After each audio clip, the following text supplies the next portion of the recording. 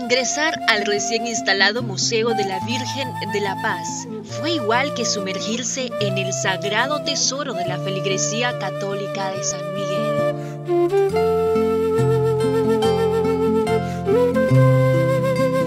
Seis trajes de la Santísima Reina de la Paz deleitan la vista al instante, algunos de ellos con más de 30 años de antigüedad. De los más antiguos también.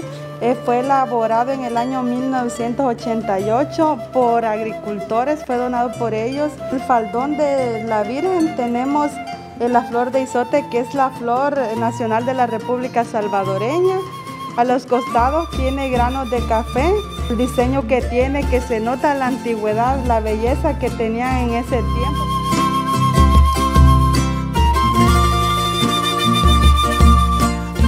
Resguardan un gran significado y por supuesto largos días y noches en vela de duro y arduo trabajo para completar la obra, obra que hoy puede ser apreciada y admirada.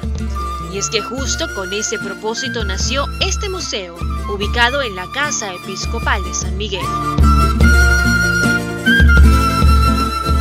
De, los, de la coronación de 100 años de la Reina de la Paz, nosotros queríamos y soñábamos eh, con mostrarle a todos los fieles, a todo el pueblo, em, la historia que está guardada, especialmente en los vestidos que ha usado em, la Reina de la Paz en las fechas especiales, que es el 21 de, de noviembre. Eh, guarda amor de las familias que los han donado, eh, manos artesanales salvadoreñas.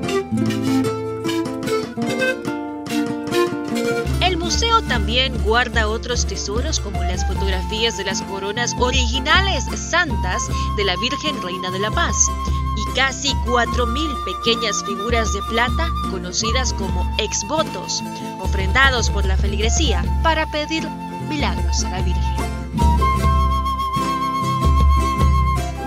Entonces eso los hemos expuesto aquí y Esperamos que vengan a verlo para que vean, uno se siente como especial de ver esa muestra de amor que le damos como agradecimiento, que esa persona, ese, ese familiar en agradecimiento ha venido a colgar en el vestido de nuestra Madre, la Reina de la Paz.